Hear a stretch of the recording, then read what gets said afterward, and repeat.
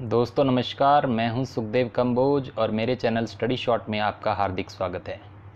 दोस्तों, आज हम चर्चा करेंगे आने वाली पटवारी भर्ती के बारे में, जो 2019 के बजट में इसकी घोषणा हो चुकी है और स्वयं हमारे मुख्यमंत्री श्री अशोक गहलोत जी ने इसकी घोषणा अपने ट्विटर अकाउंट से दी है। पहले पूर्व में ये 2000 पदों पर भर्ती होने वाली थी, अब ये अड़तीस पदों पर इसकी भर्ती की जानी है।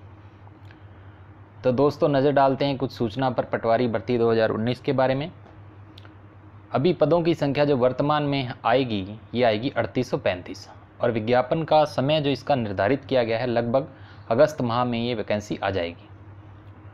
वर्तमान में जो शैक्षणिक योग्यता, आपको पता है कि पिछली 2015 में जो भर्ती आई थी, इसकी योग्यता रखी गई थी बारहवीं, प्लस आरएससीआईटी हो या कंप्यूटर में कोई भी डिग्री या डिप्लोमा हो तो आपका चल जाएगा। लेकिन वर्तमान में इसकी शैक्षणिक योग्यता को बढ़ाया गया है।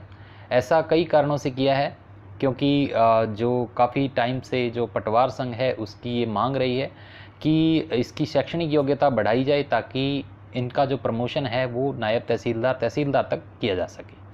ऐसा आपने बहुत बार अखबारों में भी पढ़ा होगा कि अब पटवारी से तहसीलदार तक की आप जा सकते हैं प्रमोशन लेकर के। इसीलिए इस योग्यता को अब स्नातक बनाया गया है। जिसके पास स्नातक की डिग्री है, ग्रेजुएशन है और आरएससीआईटी है या कंप्यूटर में, कोई कंप्यूटर एप्लीकेशन में, कोई डिग्री है या डिप्लोमा है, वो चल जाएगा। तो पूर्व में पे स्केल इसका 2400 था 2400 ग्रेड पे पे था ये और वर्तमान में जो संभावित पे स्केल वो 3600 पे आएगी।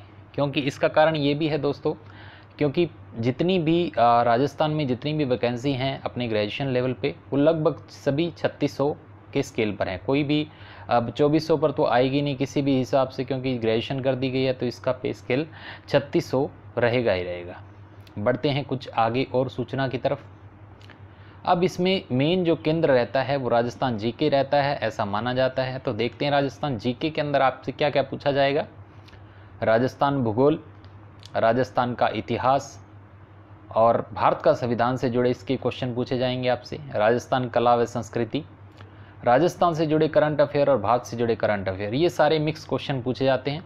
आजकल करंट अफेयर्स का काफ़ी चलन है, इसके काफ़ी क्वेश्चन आ जाते हैं। तो आप अगर पटवारी भर्ती की तैयारी करना चाहते हैं तो करंट अफेयर्स पर भी विशेष ज़ोर दीजिए और सबसे ज़्यादा ज़ोर दीजिए आप राजस्थान के भूगोल पर, यानी जियोग्राफी पर, जिस पर सबसे ज़्यादा क्वेश्चन अक्सर पूछे जाते हैं।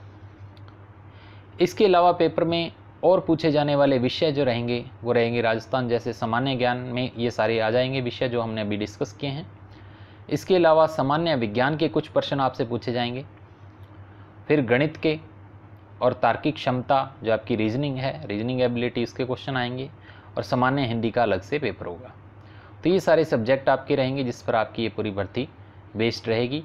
पिछली भर्ती की तरह इस बार भी जो है वो प्री और मेन का कॉन्सेप्ट रखने की उम्मीद है। बाकी जो वास्तव में जब भर्ती आएगी उसके नोटिफिकेशन पे डिपेंड करता है।